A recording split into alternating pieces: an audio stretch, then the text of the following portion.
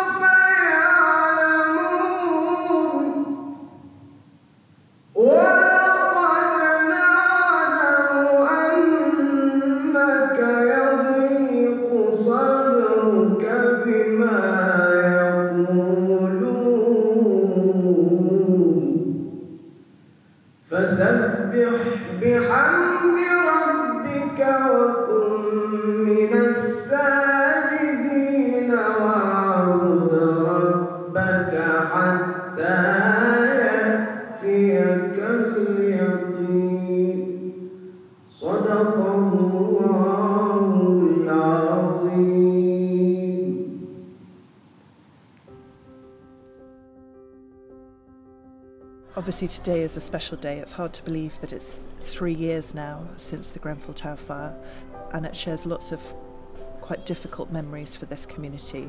But it is a chance for us to come together, even if that is virtually, and, and share some of those memories. We're right by the Lancaster West estate, and we support over 3,000 local people each year. Prior to the Grenfell Tower fire, we supported over 300 families on the Lancaster West estate each year. Um, so tragically, that meant that we lost many members of our centre. We do lots of things to remember Grenfell. We have a memory box actually, which is really lovely. So whenever a new member of staff joins our team, we make sure that we take them through the memory box and get out lots of photos and all sorts of things that students that tragically died in the fire had produced while they were at the centre. And we tell them stories about what we remember about them to make sure that they have an understanding of those people and that they feel better equipped to support um, other young people and adults that are coming to the centre and want to talk about people that they've lost. I think this is a remarkable community that has shown many times how it reaches out and supports each other, and I think we're thinking carefully at the moment about how we can mark the anniversary. So we we will be coming together and lighting candles, playing some of the music that we now associate with that time, um, sharing some of our memories of, of those people, and thinking going forward what we can do to make things safer for people. As the fire was happening, some residents on the estate managed to open up the community centre on the estate, which hadn't really been in use, and it was used to sort donations. Um, and then it became a lot more in, in subsequent days. Uh, I think about three days in, Susan started delivering art therapy from there. Art psychotherapy is a psychodynamic approach to therapy where children and adults are encouraged to use the art making as a process in order to kind of release their feelings and, and think about their emotions. You know, the, the centre's usually a hive of activity with people in and out making hearts, doing different things, making banners. We can't do that this year, so we've been sending out packs to families with willow and tissue paper to make the hearts that you see on the silent walks. We're now also thinking about what things will look like as we come out of lockdown and how we can provide some sort of connection um, and rebuild those links that, that have been kind of stretched um, during COVID. Um, and that's really important to us because we know that that's what got everyone through Grenfell and that's what people need now. Um, they really need that connection again, uh, especially a lot of the children are really missing their friends. Marking the three three year anniversary is very important because we're not there yet. You know, we haven't managed to make everybody safe. I mean, this this T-shirt was says two years on, but it's now three years on, and we still have people living in tower blocks um, that are covered in cladding, and that's not okay. You know, that's not that's not okay. Hello, Mr. Dell here. I want to send my love to all of you today and let you know that I'm thinking of you, as I always do. And even though we're having to do this on, in the virtual world, online, on 2020 Zoom life as it is, it's still so important for us to mourn together and for us to remember that night and to reflect on that and also reflect on where we are now with that. But also to celebrate the lives that were lived before they were sadly taken that night. And I think that this year, more than ever, there has never been a more appropriate time for us to truly exercise camaraderie and compassion and open mindedness and persistence. Persistence for answers and persistence for action. And it's a scientific fact that human beings are pack animals. We're not supposed to be left on our own. We need each other to survive. And that is something that I truly see in action with the Grenfell community. I have never been so moved or so inspired by a group of people before. Your resilience is second to none. No one, no one could expect anyone to have the amount of resilience that you guys have and your big hearts. I It's one of my proudest things to be involved with Grenfell United and to support your fight for true justice and also for the protection of other people, other people that you don't know and will never know. And I find that truly inspiring. And I'm so sad that we're not all together today because although it's always a very somber event when everyone gets together, um, it's also beautiful. And the kids are running around, and I can't wait to hear all about them. Um, and I know that before the anniversary next year that we can all do that, and I can't wait. I can't wait to be there, and I can't wait to see all of you. And I hope um, that, that everyone is able to get what they normally get then from this version that we're, that we're having to do this year. Um, I miss you all, and I can't wait to see you all. And like I said, I'm thinking of you today more than ever. Um, and stay safe, stay healthy. Mwah. Poem by Ahmed and read by Jackie. I miss you. I miss you today, more each day, as I have every day since that day. You have gone, but never out of my mind, not even for a day. You are loved as always, forever and today. Yesterday has gone, but my love for you today, tomorrow, and for eternity, my love for you will always stay. Yes, I cry with our memories, standing tall. If not for you, I would not have been here at all. Your kindness, your smile, your guile, your tranquil style, comforted by your love, your love for one and for all. Yes, I so miss you, for always. Justice for Grenfell, forever in our hearts. Bismillah ar-Rahman ar-Rahim. Wassalatu wassalamu ala Rasulillahi sallallahu alayhi. The 14th of June 2017 was the night that changed the lives of many people. That night at the Grenfell Tower, 72 people lost their lives. Today, many of us are still reminded of tragic losses as we live amongst a pandemic. But there's hope. Hope that the one who possesses true knowledge and true wisdom about each and every one of us, what he has decreed, we must rely on him and pray to him, Allah, to have mercy upon us all and to one day look back and find true justice. At this moment, we ask Allah, we beseech His mercy, to shower us in His mercy, to envelope us in His mercy, and to give us patience. Nothing we say or nothing we do will change what has happened. But what we do know is there's wisdom in life and wisdom in death. And we do not control this. But we control how we act. We must be patient. We must be hopeful. And we must never lose the doubt that God is merciful and loves all his creatures. So upon that, I ask you to pray with me and to pray for the loved ones and to stay safe. My work changed overnight whilst I was sleeping. I got a phone call that uh, Grenfell Tower was ablaze, and so we opened our building from 3 a.m. on that night, uh, receiving uh, victims of the fire and survivors. For us as an organisation, um, it's about remembering um, the members, the young people that uh, were members of our youth club that uh, tragically passed away in, in the fire. And we've got a portrait of uh, one of our prominent members, a young person dear to my heart.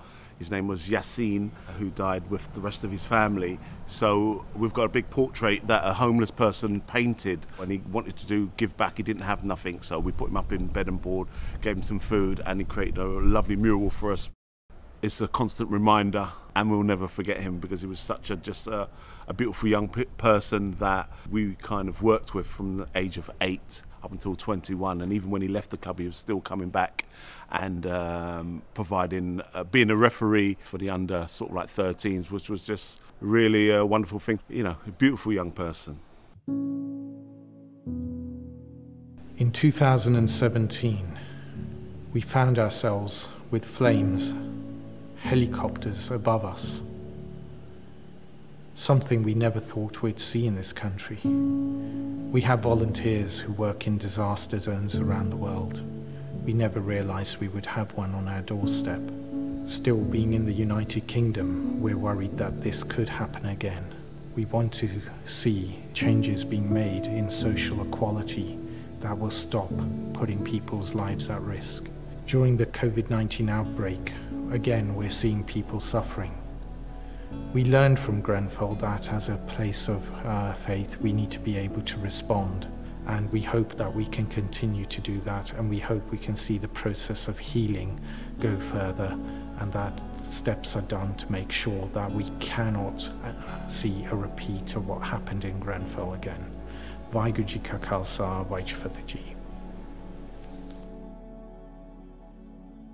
We run local learning centres. We've got 31 of them and we support disadvantaged young people with their education. We're running a special project in memory of Khadija Saye, who was one of our IntoUniversity students. And Khadija Saye was a hugely talented photographer.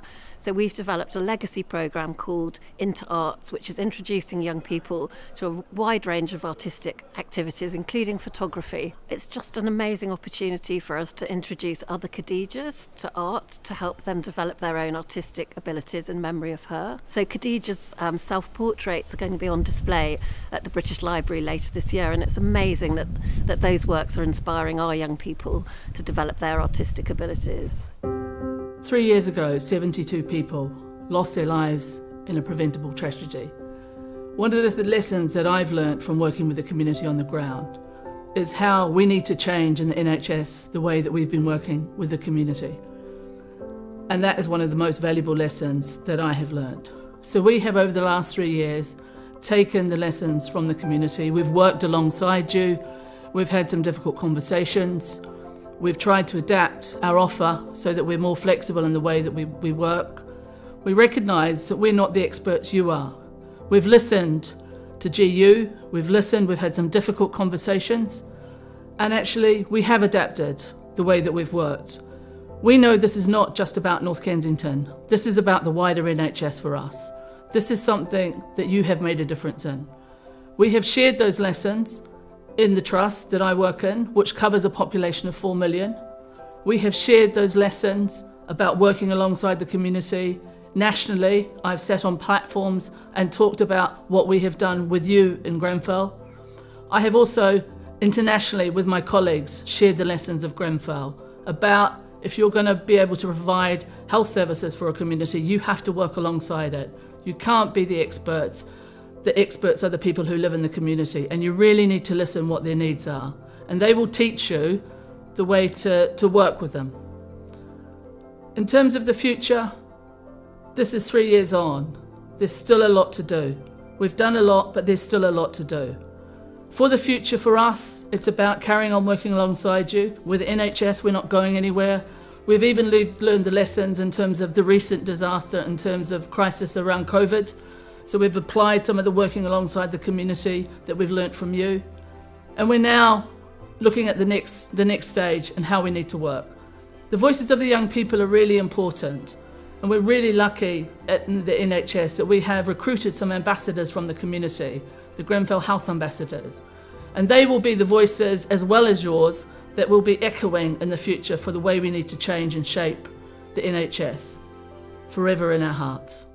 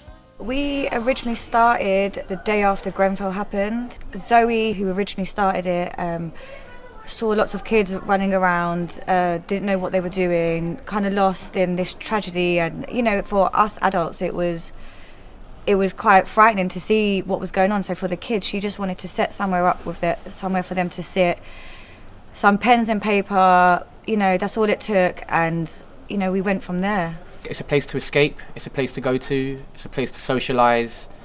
Um, unfortunately, for some of them, it's a place to come and get food as well. You know, um, uh, but it's also just like you know, it's, it's a fun place. It's a place they can come and they can be themselves. They can relax with their peers. So this year we are making green lanterns for the community while we're doing virtual videos and our young people and everyone who's involved can join our video, watch how it's made, and then on the day they can come out their doorstep, light the lantern, film it, and then we're going to put it all together and make um, a really nice video of lots of footage through over the years. Um, we've also asked a lot of our young people to write poems um, about Grenfell, how it may have affected them, or just something, you know, nice. There's a void in my life, a deep hollow, a space. I thought that I would let you know, just in case. It's not about me wallowing in time and space. I feel my loss, I feel his grace. His love was my fragrance, my interface. I miss his bear hugs, I miss his mischievous ways. I miss his warmth. Yes, I do miss his grace, his embrace, his beautifully smiling face. But now I have nothing, nothing but his cherished memories. A smiling face I can never replace. Always in my heart, I love you, my dear uncle.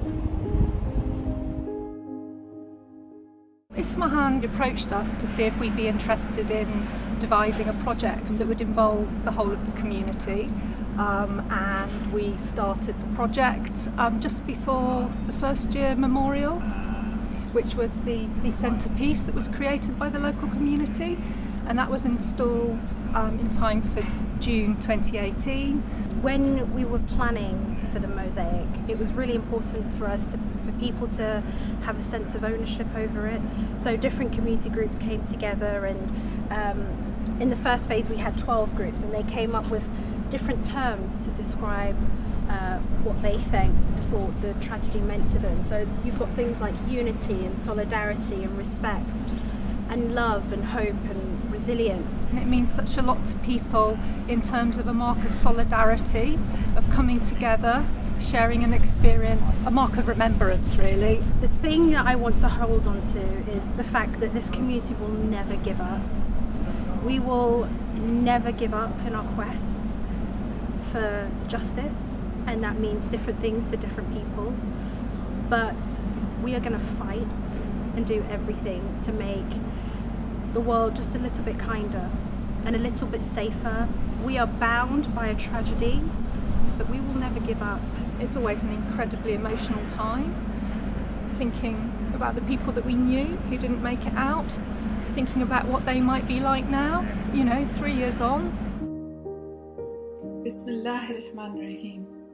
In recent weeks, we have all been touched by the way in which the nation has come out in total support for the frontline workers and the NHS. It has shown us the way in which human beings can care for one another, show solidarity in the face of hardship, the way in which the community turned out that night and for weeks afterwards stands out clear in our memories. We salute the brave work of all those involved at that time, and yet the story goes on. We have now reached the third anniversary, and many people are living in difficult and emotional situations ever since. We need to remember them too and rededicate ourselves not to forget them and to see their human needs are respected and met. We humans are one family and we should not discriminate against each other no matter how different we are or what background we come from. Every human being is of infinite value in the sight of God. Let us pray for the souls of the departed of Grenfell Tower and strive for justice and human dignity and the closure for the relatives. Let us hope that this spirit continues and we all behave as one family. Thank you. The initial response was uh, to open the door and welcome everyone because we heard it's a fire. So we opened the door to just welcome. And then uh, immediately that turned into uh, emergency support. So uh, food, uh, toiletries, and so on. So we became an emergency support center right from day one on the 14th of June 2017. Many of those who passed away in the fire used to be members here or uh, regulars here, so we do miss them and we can see where exactly they used to uh, stand or sit and, and so on. One important part of that is the Hub Community Kitchen, which has been supported by Meghan Markle.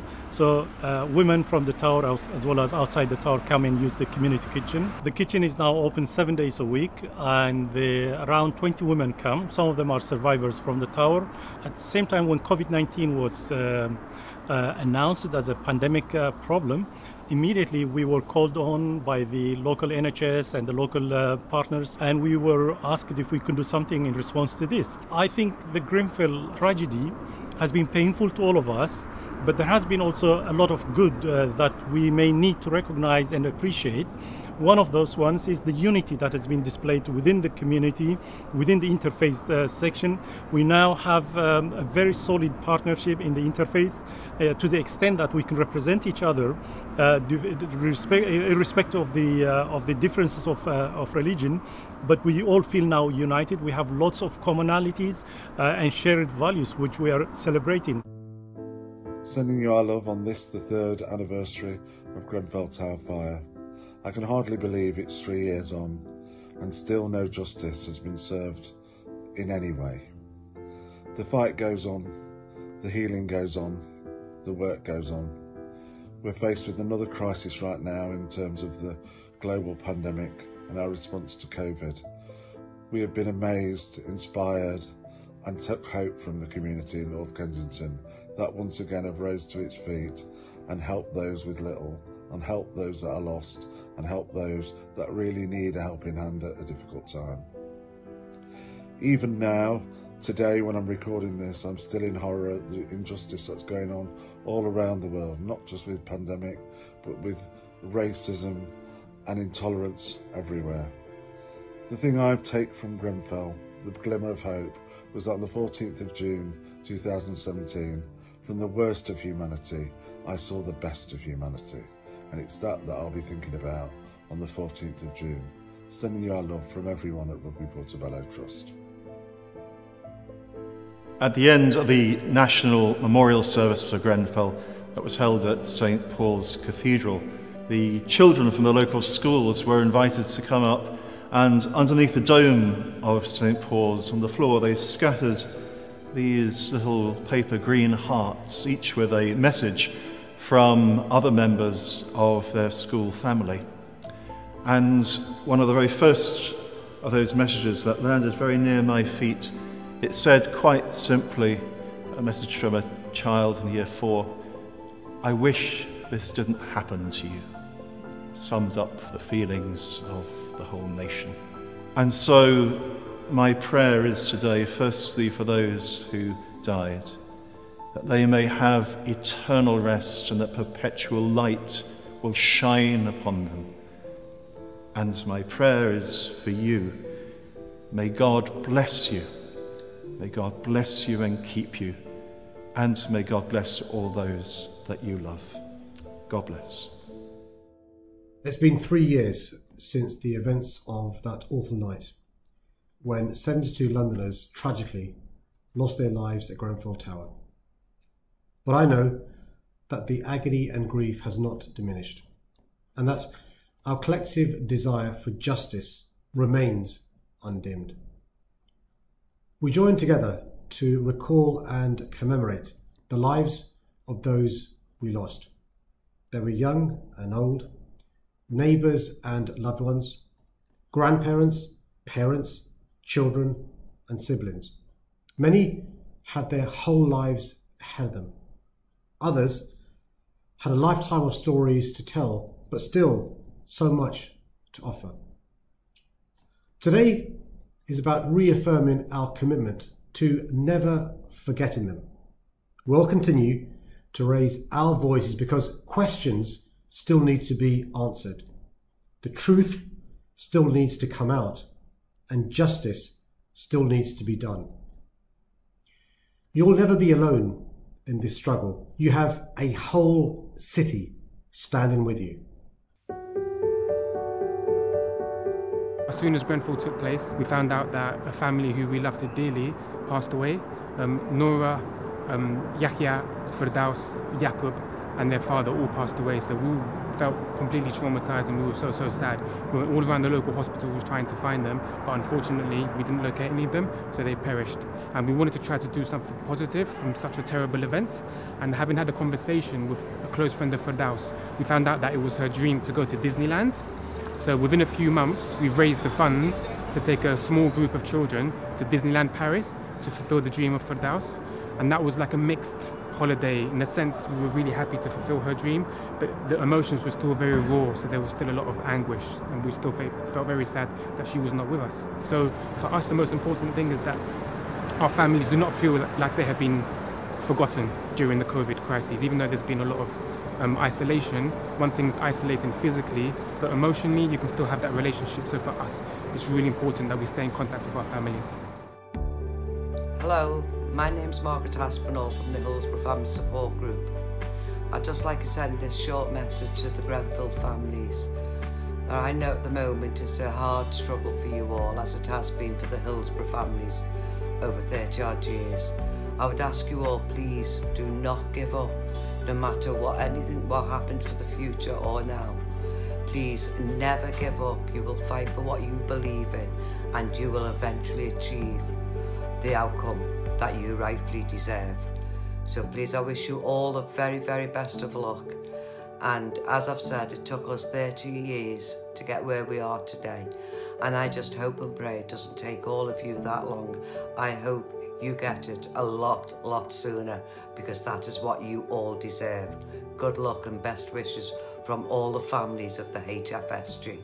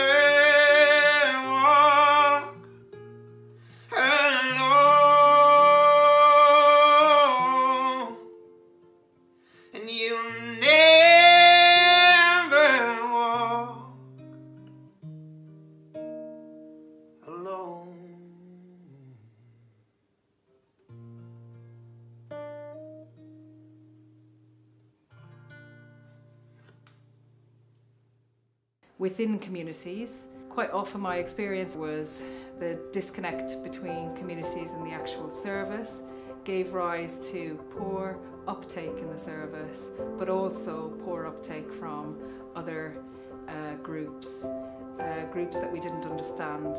One of the things that I've learned through um, my Grenfell experience is how to engage with communities in a way that feels like as if it isn't about lip service, it isn't about tokenistic gestures. Um, it's about how you can collaborate, how you can use the assets of the community to be able to build a service and design a service and deliver it to meet the needs of that community. I'd like to think just briefly with you about the last three years that I've experienced this service and I want to say that it's been an absolute privilege to be on this uh, learning curve. I feel like as if a, a practitioner who's got effectively 25 years left of her career that it's definitely going to enhance my ability to be able to deliver um, really worthwhile care to other communities. Yo, guys, hope you're good. Hope everyone's good in these crazy times. I just wanted to say, always thinking about you, man. Always, always, always. Seriously, so much love for you guys. I'm gonna keep spreading the cause as much as I can do. Everything that I can do with my power to help. I will, you know, you always got an ally in me, man. Anything you guys need, just let me know. Try and help any way that I can. Much love, guys. Over the whole weekend, we'll be doing our best to turn spaces green for Grenfell. Green for Grenfell was something that was started as a hashtag by local schools, um, and as an artist uh, and designer, I felt that if we could make use of that and take it a step further to creating really green spaces, it would help people feel that they were together, feel a sense of solidarity, and also green as a colour is just it's healing. It's all about healing. Has it really been three years? Has it really been three years since the day some of us escaped? Has it really been three years since the memories that I have taken? Has it really been three years since my heart began to ache? Has it really been three years since my soul began to break? Goodbye to my family, goodbye to my friends, goodbye to my neighbours, and goodbye to my home. Has it really been three years since the day of the screams? Has it really been three years since the visions of extremes? Has it really been three years since 72 people were snatched away? Has it really been three years since we thought we were all here to stay? 14th of June was when we thought they were going to follow. The 14th of June was when we all began to feel hollow. The 14th of June was when the community felt the pain. The 14th of June was when the memories became a stain. Has it really been three years since the banging on the windows could be heard? Has it really been three years since the community came out in herds? Has it really been three years since we all began to pray? Has it really been three years since we wished our loved ones could have stayed? Imagine if we can turn back time and undo the suffering. Imagine if we could turn back time and take away the bustling. Imagine if we could turn back time and did not have to pretend. Imagine if we can turn back time and take away their end. Has it really been three years since we could hear your laughter? Has it really been three years since 72 of you went to the hereafter? Has it really been three years since the vivid memories etched on my mind? Has it really been three years since it became clear that rules need to be refined? Has it really been three years since questions are still unanswered, forever in our hearts?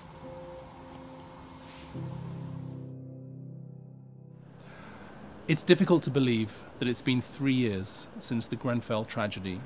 While it may seem that the rest of the world has moved on, I want you to know that from the heart of the Jewish community, we have not forgotten you. This tragedy touched so many lives, and we hope and pray that Almighty God continues to support the families of the victims and gives comfort to those who have been affected by this. We also hope and pray that God helps us to learn how to seek empathy over fear, respect over intolerance, and to choose love over hate. And may we all learn to help strengthen the bridges that we've built between our communities for many, many years to come to build a better society for all humankind. We are in such unprecedented times with COVID 19. After the Grenfell tragedy, it's given us the learning and experiences to help us fight this pandemic. Working closer within our community, within the NHS, our partners, but most importantly with our bereaved and survivor families. With the three year anniversary approaching, our thoughts are with the bereaved and survivor families, our patients. We will never give up, and our thoughts are with you all forever in our hearts. Third anniversary of our 72 loved ones. Distance takes us far apart and darkens our today. We have to keep remembering you're just a thought away. When the world is too confusing, times are hard to bear. We pull your precious meaning, your bright spirit from the air. If we sometimes drift into a lonely state of mind, we gather up the memories days we left behind. And though you're not beside us, we can tap into our hearts and draw upon the warmth and love that lives when we're apart. And with these fond reflections on the times when you were near, we sense a little bit of what it's like to have you here. Yo, what's going on, people? Um, it's Stormzy here. Um, today marks the third anniversary of the um, Grenfell Tower fire, and I said I was just gonna put the camera on and just talk from my heart instead of trying to prepare anything. So I didn't want this to sound like it came from anywhere other than my heart. Um, to all the people of Grenfell, we're still mourning with you. So to anyone watching this, let's use this time, let's use today to stand in solidarity with them and say that we ain't forgotten you. We love you. We're here for you.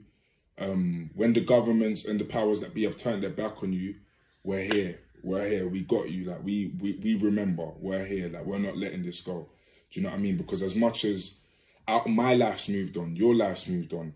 Unless you had someone in that fire who you directly lost, whether it was your family, your friend, your sister, your mother, your brother, your father, like our lives have moved on, but that is still a dark reality that these people have to face all the time.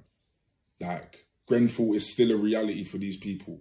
It, it was just it was just a day, it was just a week, it was just a month for us. It was a green heart, it was a badge, it was a tweet, but that's still a dark reality for these people. So please, let's remember that. Let's stand with them today. Let's mourn with them today. To the people of Grenfell, I'm so upset that this pandemic, COVID 19, um, is the reason we can't be together today. Um, what I've what I've seen for myself first-handed is that I've watched the community, the people of Grenfell, the people of Ladbroke, the people of West London. I've watched them take a dark tragedy and turn it into triumph and turn it to joy and turn it to togetherness and friendship and brotherhood and sisterhood and family. And whenever I'm around the Grenfell lot, whenever I'm whenever, whenever I'm in Grove, whenever it's an anniversary or an event, I'm I'm full I'm I'm filled with so much love and joy because I'm just watching these people who have turned this tragedy into triumph, and I'm just like, this is one of the most remarkable, amazing things I've ever seen. So you guys, I love you. I wish I could be there with you and and bring whatever joy I can to to everyone's situation. But we're gonna link up soon. I love you guys. We're always here. Never forget what happened at Grenfell. Please, never ever forget. And yeah, I love you guys. And you lot inspire me because you lot have managed to remain so resilient in the face of the most darkest, darkest, darkest tragedy that people should never experience. Do you know what I mean? I don't think humans should experience what you guys have experienced. I, I, I don't I don't know how how we have the mental emotional threshold for that, but somehow you bunch of super, superheroes do, and we love you guys. You're legendary. Um, and I'm always here in whatever capacity. God bless, love you guys, and never ever forget about Grenfell. Hello, I'm Claire Murdoch. I'm the Chief Exec of CNWL. I am glad to be with you today, albeit virtually, to pay my respects, to tell you on the third anniversary of Grenfell how I never cease to be humbled and amazed by the love, resilience, and determination of the incredible people of Grenfell. So, thank you for letting CNWL be part of your journey. Thank you for placing your trust in us. we work hard never to let you down. This three years feels like a blink of an eye, no time at all, and like a lifetime. But what I want you to know is we will walk with you for as long as you need us, with humility and love, and you are forever in our hearts. Here at Latymer, at the third anniversary of Grenfell, we want you to know that whilst our church building may be closed, we continue to stand together, praying for justice and for peace, and remembering with love the many who we have lost to our community. And may the Lord bless you and keep you. May he make his face shine upon you and be gracious to you. And may he grant you peace. Amen. Sometimes you'll be given what you wanted just to show you it is not at all what you needed. I remember often walking past the homes of how the other half lived. High rise ceilings, gates and fences, private parking spaces, and homes that probably cost the same amount as a small private jet. The closer I got to home, the more the divide became apparent. High rise buildings, council estates, and definitely not a gate or a fence in sight. Even the street properties with three to four separate flats in them. You could tell which one were homeowners and which ones were social housing just by how they looked from the outside. I remember sometimes walking past the homes of how the other half lived and saying to myself, one day.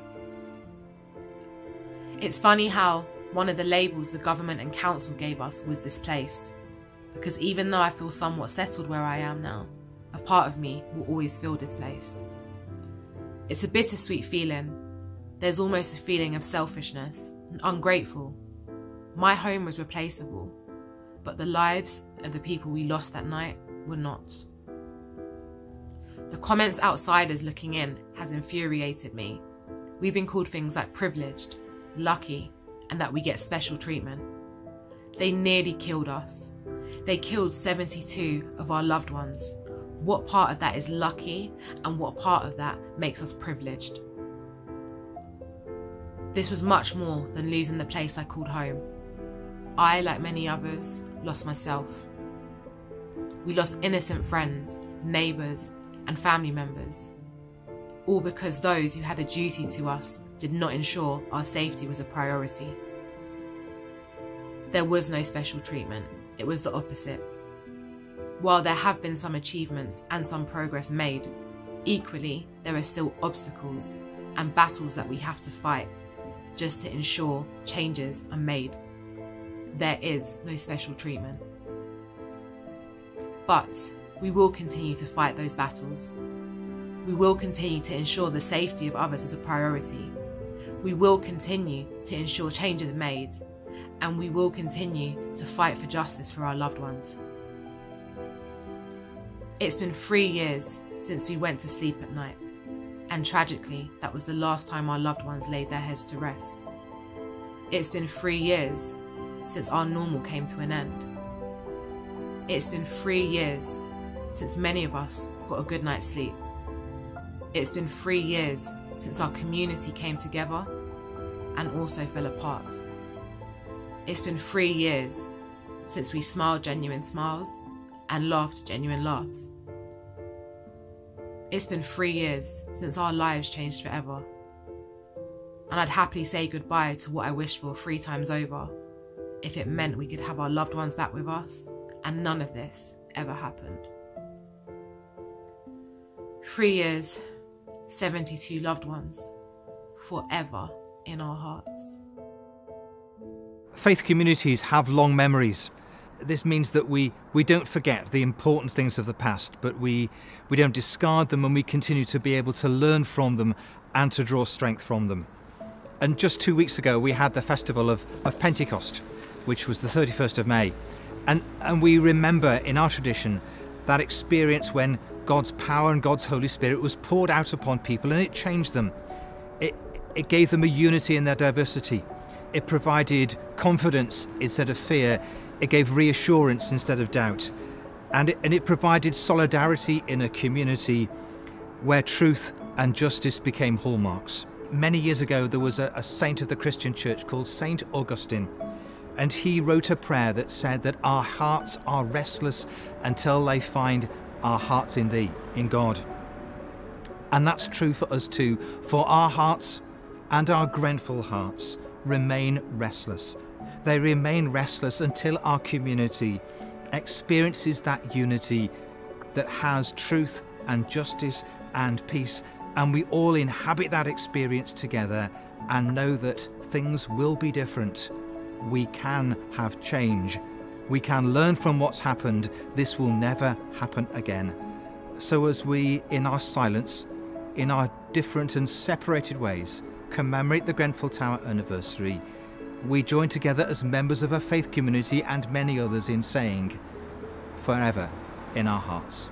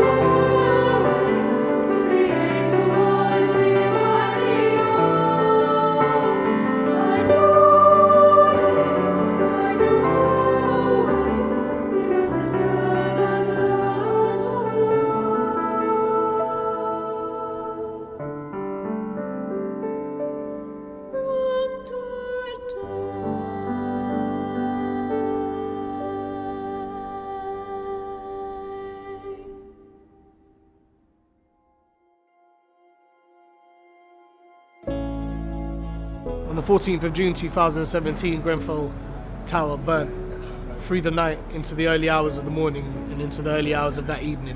This community was left to the commotion and chaos. The people that were here to pick up the community were people from other communities rather than any authorities, rather than anyone responsible for, for the, what had happened that night. You know, it became important about like kind of mobilizing as a community and, and it was just kind of, you know, a natural movement to kind of bring people together and we decided to walk on, on the 14th of each month. It was the first time in like a week or two of, of, of being in, in absolute, what felt like a war zone. It was the first time where there was a very, very fast power of empowerment. There was an energy in the air of, and something very bone chilling about so many hurt people and so many wounded people walking in absolute silence, in absolute unity. And during the, the pandemic of COVID 19, it hurt so much to not be able to, to walk and feel that connection of energy between the thousands of people who come and show support. And we know people are still out there showing their support from their homes. And what we want to say is that we will come together again once this is cleared up, and we will walk and we will strategize and we will come with new tactics to make sure that we are heard and to make sure that this movement doesn't stop and that justice comes. As usual, we'll read the list of names for those we lost that night on the 14th of June. Abdul Salim Sebbar, Ali Yawar Jafari,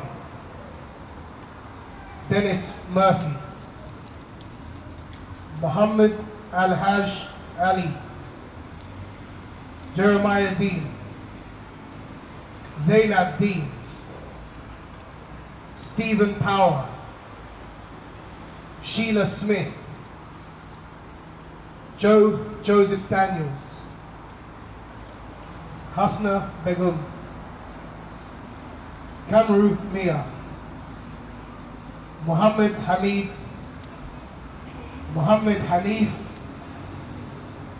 Rabeya Begum, forever in our hearts. Forever in our hearts. Khadija Khalloufi, Vincent Chiejina, Fatima Afrasiabi, Sakina Afrasiabi, Isaac Paulos, Hamid Kani, Berkti Haftom, Biruk Haftom, Gary Maunders, Deborah Ramp- Lamprell, forever in our hearts. Forever in our hearts. Ernie Vital, Marjorie Vital, Maria Del Pilar Burton, Amal Ahmadi, Amaya Tuccu Ahmadi, Amna Mahmoud Idris, Muhammad Nur Tuccu, Victoria King, Alexandra Atla, Atala, sorry, Mary Mendy, Khadija Saye, forever in our hearts. Forever in our hearts. Farah Hamid Belkadi, Nina Belkadi, Malak Belkadi, Omar Belkadi, Jessica Urbano, Ligaya Moore, Abdullah Aziz El Wahabi, Faiza El Wahabi, Mehdi El Wahabi, Nurhadu El Wahabi, Yasir El Wahabi, forever in our hearts. Forever in our hearts. Logan Gomez. فدوس حشيم حشيم كدير نورا جمال يحيى حشيم يعقوب حشيم فاطمة شكاية مرنا شكاية نادية شكاية سيارة شكاية زينب شكاية Bassem Choucair, forever in our hearts. Forever in our hearts. Anthony Tony Disson, Mariam Elgwahry, Islah Elgwahry, Raymond Bernard, Gloria Trevisan, Marco Gottardis, Fethia Hassan, Hania Hassan, Rania Ibrahim, Hisham Rahman, Muhammad Saiba Hamid Nada, Abu Fras Ibrahim, Isra Ibrahim, Fathia Ali Ahmed Al Sanusi, forever in our hearts.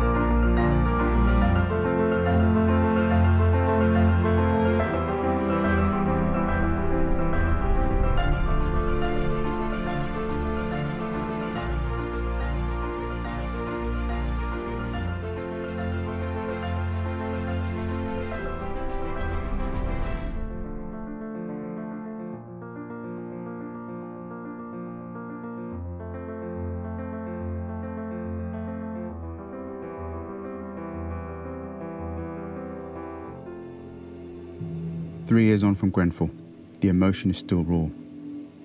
We still don't have all the answers, but we know the refurbishment of Grenfell Tower was illegal and poorly executed.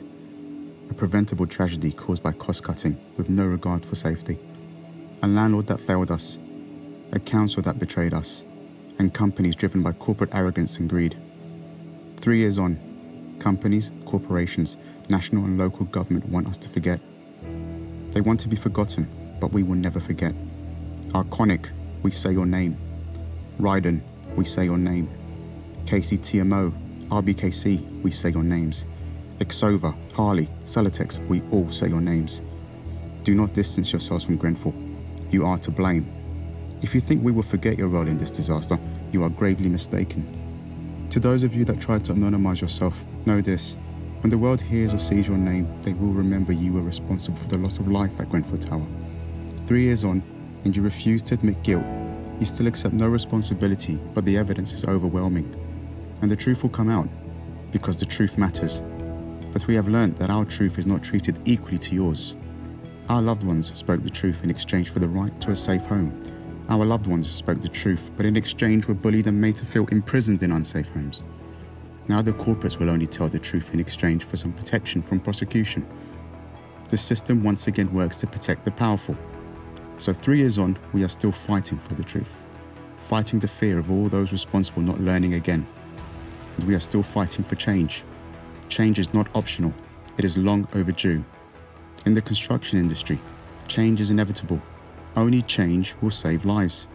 Will you, the industry, propose effective changes yourselves? Or will you wait for it to be imposed upon you?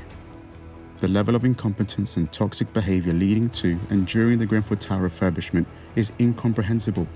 It was immoral and inhumane. The purpose of the building regulations is to preserve life, and some of you massaged your way around them, compromising the safety of our lives. To the government, the building regulations are not fit for purpose. There are thousands of high risk buildings across the country with flammable materials. Grenfell is not just about high rises, it's about making homes safe irrespective of their height, because everyone deserves a safe home. There is still no plan B to stay put. Are we ready for another Grenfell?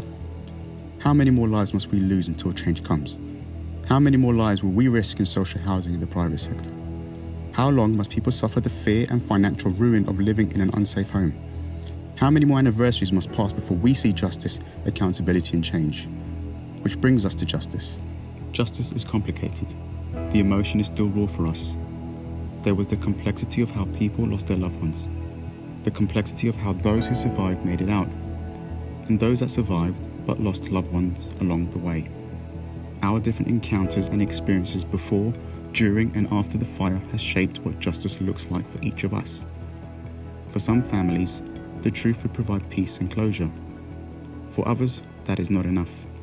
And reputational damage, financial penalties, safer homes, and most importantly, imprisonment are needed to feel at peace. Sometimes we cannot even talk and agree among ourselves what accountability looks like because of the overwhelming failures and pain we had to endure. We hear Grenfell talked about as the poor cousin. That phrase symbolizes the inequality and the neglect of our voice, the inequality of human life. But Grenfell has also united us. Grenfell has united the bereaved, the survivors, and the local community, and everyone across the country living in unsafe homes.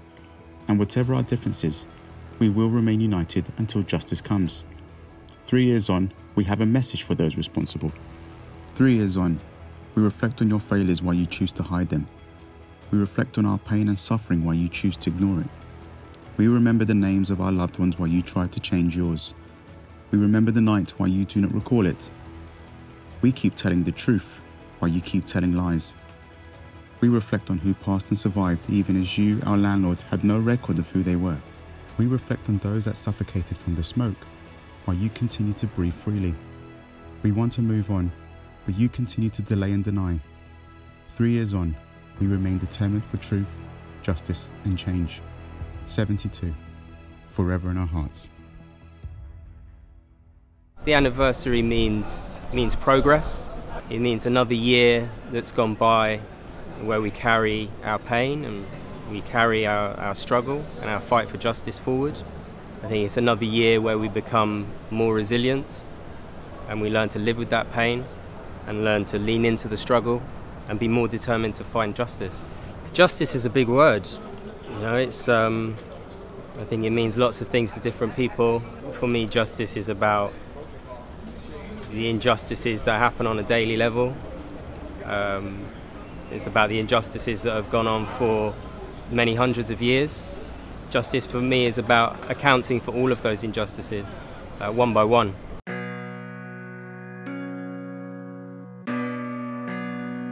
Yo, yo. Hydra. Hydra. It's another one of them late ones again. Insomnia, you need to allow me, know. Yeah. If there ain't no justice, there ain't no peace. There ain't no love, we at war with the beast. If there ain't no you, then there ain't no me. They don't know you, and they don't know me. If there ain't no justice, there ain't no peace. There ain't no love, we at war with the beast. If there ain't no you, then there ain't no me. They don't know you, and they don't know me. If there ain't no justice, there ain't no peace. Nah, we don't care about the politics or police. We don't care. Nightmares at night got me scared to go sleep. When it's quiet, when it's loud, I'm still hearing those screams. Wishing this could all be a dream, but it's not. My friends don't understand, so inside I feel lost. i Can't imagine those bereaved, how they feel. They my heroes. My heart's more than cold, so past chill at sub zero. I do this for the ones that we lost. I know you're here with me. We scream GU for life. I know you're hearing me. I know shed a tear and speak, cause rapping is my therapy. I do this cause I'm meant to for the cause, not voluntarily. I hope that out the man, the man, them out there could feel my pain. Feel my One of the lucky ones, I guess, cause I still remain. Uh, I'd be lying if I said that I'd be still the same. I'd be lying if I said that I feel the same. There ain't no justice, there ain't no peace. There ain't no love, we at war with the beast. If there ain't no you, then there ain't no me. They don't know you, and they don't know me. If there ain't no justice, there ain't no peace. There ain't no love, we at war with the beast. If there ain't no you, then there ain't no me. They don't know you, and they don't know me. If there ain't no justice, there ain't no peace. There ain't no love, we at war with the beast. If there ain't no you, then there ain't no me. They don't know you, and they don't know me. If there ain't no justice, there ain't no peace. There ain't no love, we at war with the beast. If there ain't no you, then there ain't no me. They don't know you, and they don't know me. It is our duties, it is our responsibilities to make sure that we never, ever, ever, ever, ever forget about Grenfell and what happened that day. And that we constantly remind ourselves, our people, and the world, our country about what happened that day. We can never, ever, ever forget Grenfell. And the reason I, the reason why I say this is because I still can't fathom how that many lives were lost in the way in which they were lost. Until this day, there is no justice, there's no accountability, there's no one behind bars, there's nothing. Um, I still can't fathom the circumstances before it, the circumstances during the fire, and the circumstances after it. And let me explain that by saying this. We had a community who were screaming out, who were filing, who done all the proper, who took all the proper routes, were making all the official complaints, and they were crying and screaming out to the councils, to the authorities, to the government, saying that the cladding on this building is illegal, this cladding on this building is unsafe, and we need we need new cladding. And they were constantly denied, rejected, and ignored. And then what that left us with was the greatest tragedy I've seen in this country in my 26 years of life, and which I think I will hand on my heart say is the greatest injustice I've ever seen. In terms of, I cannot fathom how there's been no one put in prison for this. The councils, the authorities, the governments ignored the whole community and ended up destroying lives, destroying families, destroying like I I I find it it's become my duty and everyone else's duty to make sure that we never forget this. Let this be a constant reminder. Let this be a constant dark stain on British society in terms of that many lives were lost and the world just kept moving. Like there's still there's not been any justice. Like let that be a constant reminder. A lot of things have changed, and a lot of things remain the same. And I think this is the the, the irony of the situation. You know, the battle for for the for the saving our community started within the 10 years previous, right? So for years before that, we'd been actually actively actively involved in trying to save our community from the regeneration. There were a lot of battles going on for different resources and different community spaces. Grenfell exposed what was going on. Prior to that, we were dealing with something that was seen as a very local battle. So it was hard to get what was happening to us to a wider level, people to be aware of what was going on. It was Grenfell that opened that up and actually people started to see what was going on in the richest borough in the country.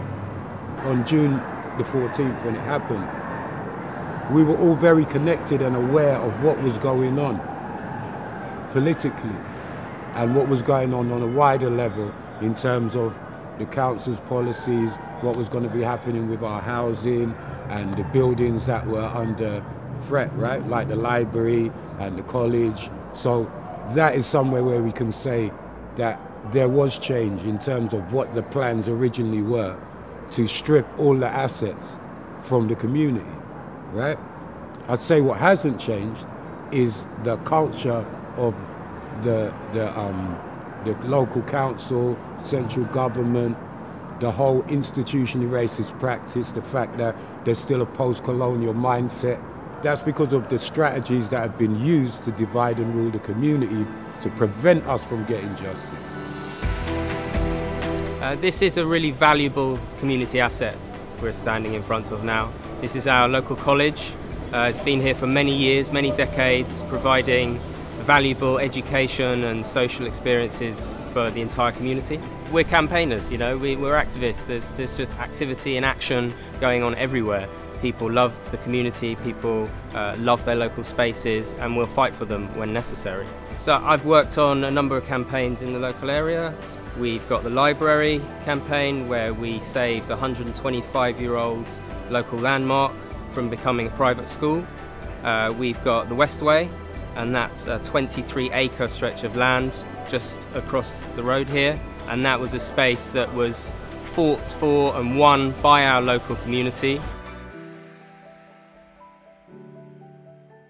On the local level, a lot has changed in terms of public space. The sort of asset stripping attitude that the local government had prior to that is not still there. So these are important achie- achievements. I think there's been a change in the regulations, so A1 and A2 have been established as something that should be expected in new builds. Um, I think the problem with that is it can't be retrospectively applied. What I fear and what I worry about is the fact that we have a situation where the population, rather than being able to see themselves in this community, I feel they have exceptionalized the circumstances. So, because of the spectacle of the fire and how dramatic it was and how extreme it was, I think people around the country just find it hard to believe that they may be in buildings where the same thing could potentially happen. What essentially that means is you have people in a lockdown situation in buildings that are like Grenfell. There hasn't been the action that needs to take place in order to uh, guarantee those people's safety. I think that is a major failing on consecutive uh, governments. There needs to be the mechanisms within government to make prosecutions as soon as possible. There may have been um, situations where people have been questioned, but we have not seen arrests, and that's something that people really, really need to see. There's still the same problems that caused the tragedy are still there. I mean, there are so many people currently living in homes that aren't safe because they've got unsafe cladding on them. There are so many people living in houses that are over here, we call them temporary residents, but they've been temporary residents for 20, 25 years, living in places where they have no security of tenure, bringing up their kids there, then they could be evicted at any minute. And there's been very little change in the way the, government regards social tenants. I thought uh, would be a wake-up call for them and they will change their behavior, treating uh, people on social housing with dignity. That hasn't changed. Everyone in society needs to look at what social housing is about. It's providing a safety net for people and it's providing good, stable homes for people who, that don't cost a fortune. Property isn't about making money for corporations, it's about people's lives. And that seems to have gotten forgotten somewhere along the way with all of this. What's emerged in the three years since Grenfell is that there appears to be an endemic problem with the safety of high-rise buildings in the UK.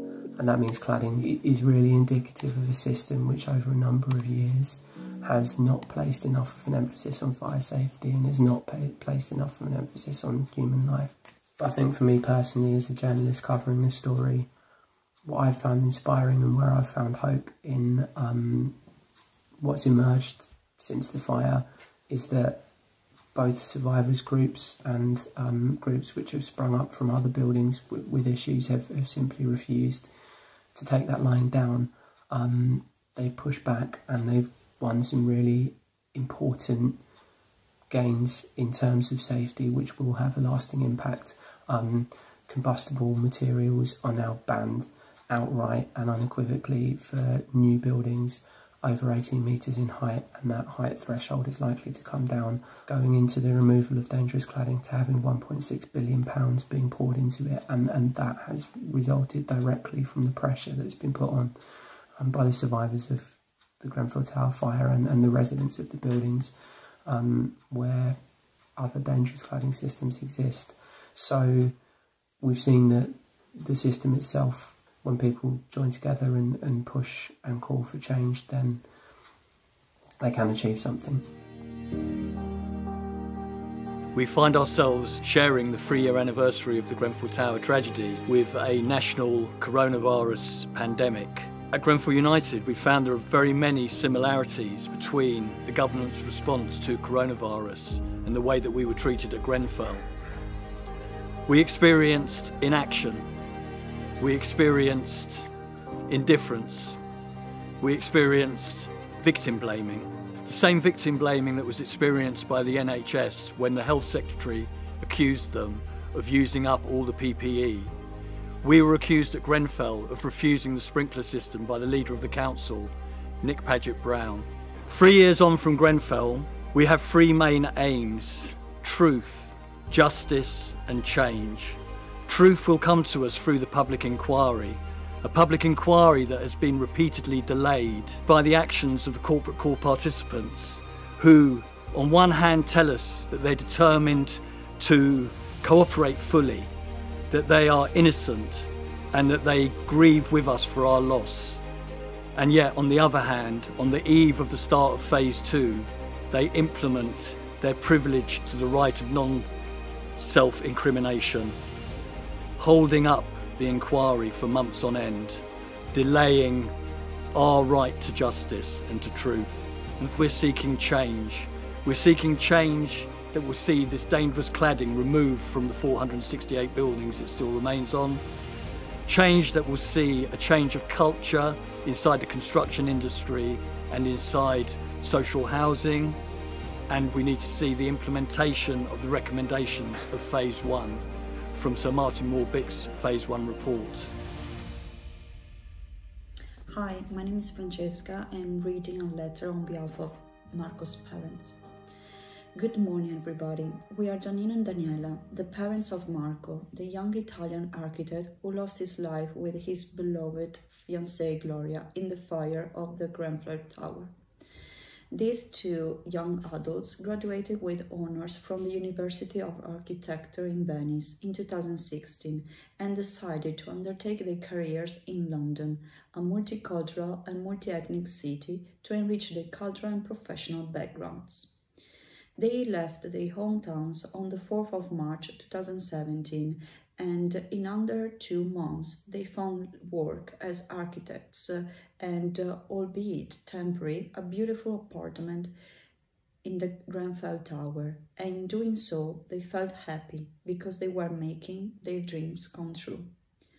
On the 14th of June, a fire ended their lives along with 70 other people, leaving family members, many friends, and people who knew them in pain and despair. This disaster did not happen by chance, was caused by lack of care and responsibility, which leads back to the great evil of today's society, human greed, or the constant search of, for greater earnings, trampling on any regulations and on basic human rights. The ongoing investigations have revealed fault on several fronts from design to construction to lack of building control to poor maintenance, bad restoration, and to the absolute inadequate rescue attempt. After three years, the second phase of investigations has only just started and as a consequence, we have to wait long periods of time for the conclusion and for the subsequent court hearing. Despite this, we still have faith in the investigators and more generally in British justice system. We are deeply saddened and incredulous at the total absence of Her Majesty's government, as well as offended by the statements of the former minister, Mr. Jacob Rees-Mogg. How can one of the major British institutional body invite citizens not to respect laws, rules, regulations, and what was stated in the building security norms. This is absurd. We hope that the many culprits will come forward and admit their fault. We still believe in the pursuit of the truth and hope those who are responsible for this terrible and avoidable tragedy will be brought to justice. We hope that what happened on the 14th of June 2017 will serve as lesson to the government as well competent bodies and professionals to carefully evaluate safety regulation and the material used in construction and renovation, both civil and industrial. We thank everyone who went the extra mile to raise funds for the victims' families and all those who were close to us. A special mention also goes out to all the London charities whose goal is not to forget this tragedy and to make sure that justice prevails. A special thank you to the Grenfell United. To remember Marco, Gloria, and the other 70 victims, to raise people awareness on safety and to help talented young students, we have created the Grenfell Love Marco e Gloria Onlus Foundation, whose website can be found online, also in English at www.grenfelllove.org. With the same goals in mind, architect Peregrine Bryant, owner of the Peregrine Bryant Architecture Studio in London, where Gloria used to work, has founded the GEM Award. A warm thank you to this great man. Thank you and best wishes, Giannino Gottardi and Daniela Burigotto. We have changed as a community. We've grown. No community should have gone through what we've gone through. Um, it's made us stronger. I know it sounds like a cliche, but I think we all realize it's a long road. We are still seen as second class citizens. And us, as people living in this community, having witnessed what we witnessed that night, seeing people dying as second class citizens as if their lives didn't matter, the change really we are we're looking for, we're longing for, is that change where we as individuals at the center of those decisions that affect us. I think we need a serious shift in power relations. I think we need to rebalance the relationship between the landlord and the tenants. And I think landlords need to be reminded that they are serving us and they are meant to provide us a service. We have no power to hold them accountable. And that's the key change that we need, that power of accountability, a real power of accountability. We want people to speak for themselves. That's the core of our mission, empowering people. Because they are very capable and we be believing that the skills are in this community. They just need somebody to support them and that's why we're here. There's been some change that I know that has happened in this borough with the housing management, but uh, there needs to be a lot more to come. So we'll have to just don't don't hold your breath for it, but it will. I think it will happen. There's a problem. There's a fundamental problem with social housing, and it's twofold. One, there's not enough of it, so they need to build a whole lot more, hundreds of thousands of more, if there's a will to address the housing crisis and eliminate homelessness. And two is the um, stigma that's been attached to it in the last, from the last 10 years up to now. People need to be happy where they live. And when there's a proper, decent social housing provided and enough of it, and enough people live in those houses, and they feel proud of where they live, the stigma will be removed easily. That tragedy, at least, okay, it's happened. We are where we are. But I'm hoping that um, it, it would lead to something good. I'm hoping something good will come out of it. As we remember the 14th of June 2017, the atrocity that killed so many of our neighbours, our friends, and our loved ones, in 2020, we find ourselves in a world that yet again holds a mirror up to the inequalities in our society. Grenfell did exactly that. It held a mirror to the fact that actually the residents were not listened to, the fact that they predominantly came from a Muslim background. We look at the judicial system in America, the justice system, the brutality of the police, and we reflect on the fact that actually black lives mattered, both here in Grenfell and they matter in America. They matter all over the world where black people face discrimination, brutality, and death. They matter also because we now see that actually a disproportionate number of black people are dying from COVID 19. And they're dying because of the discrimination, the institutional racism that they face, the jobs they do. We as black people, as the Windrush generation, as the immigrants, we are now realizing, and I hope the whole country is realizing, that we are essential to the running of the society. If we want to have justice for those 72 ones who need, people who needlessly lost their lives, we need to see some systemic change, and we need to see the change that's been demanded by the bereaved and survivors. Removal of cladding, That's still not happened. Changes in regulations. That's still not happened. For me personally, it's a bit, it feels weird watching everything that's been happening after COVID 19 as well, especially with the Black Lives Matter movement. You know, it's, it's, it's beautiful to see people come together and it gets to a stage in life where enough's enough. And the more people that wake up to that and the more people who realize that enough's enough, more can be done for change. We shouldn't be here three years on still trying to shout for justice and still trying to you know, get the change and still trying to make sure that people are safe within their homes. Like it's, it's three years on, and 72 people, whether we like to hear it or not, were murdered that night. We haven't had justice because the state was culpable, right? The state was culpable in many layers of the situation that Grenfell was. You know, you would not expect that three years after 72 people died in West London, not a single person's been arrested, not a single person's been charged. You know, there's delayed justice.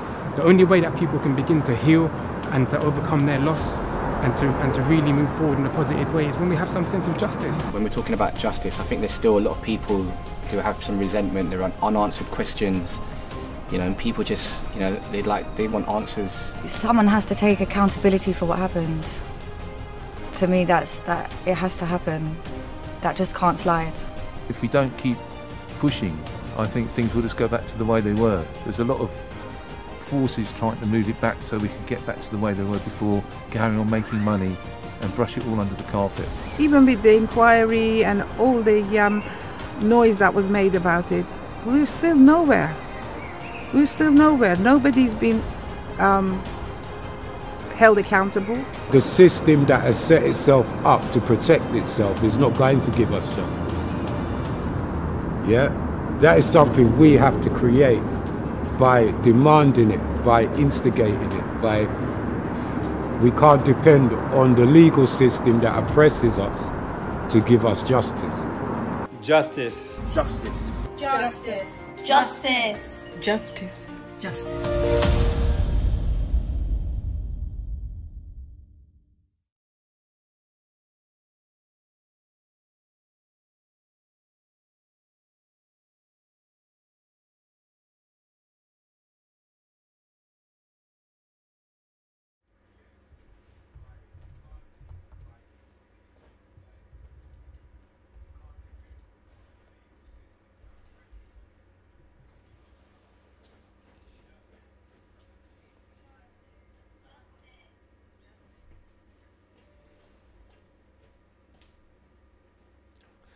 Please stay with us um, as we are about to go live to the tower to see a balloon release.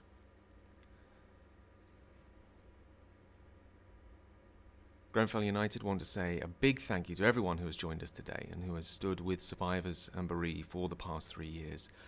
If you haven't already, um, please sign up to get updates and support the work of Grenfell United at www.grenfellunited.org.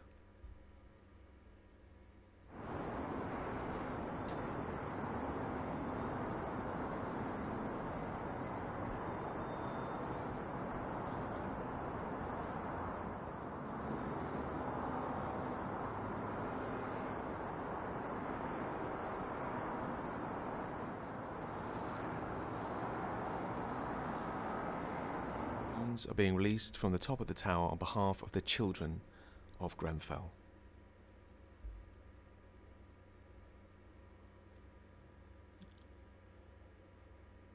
We would just like to say thank you all so, so much for joining us today and for being part of our community and continuing to remember the loved ones that were lost.